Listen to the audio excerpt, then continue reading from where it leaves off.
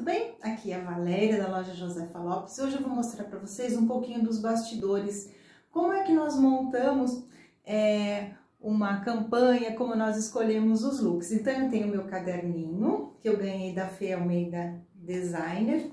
Aí eu faço todo o meu planejamento, que é qual a campanha? Que agora é a campanha do Dia dos Namorados. Quais os looks que eu vou escolher? Então, eu escolho quatro looks e aí em cima desses looks que eu vou montar quais serão a, a segunda peça, qual será a terceira peça, quais serão os acessórios. Então, eu monto tudo isso para depois eu fazer as, as fotos, os vídeos.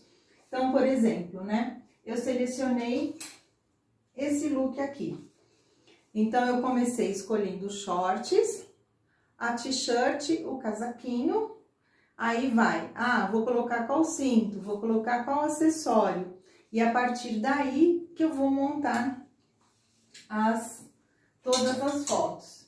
Então, nesse caso, as minhas quatro peças chaves foram aqueles shorts, esse tricô maravilhoso azul marinho de gola, a outra peça foi esse macacão que eu amo de paixão.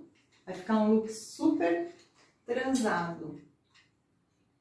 E esse vestido roxo conf, que é demais, né? Então, isso foi para mostrar para vocês como que funciona é, todas as postagens que a gente coloca durante a semana. Esse, essa parte do processo é muito legal, é muito gratificante. Beijos para todos!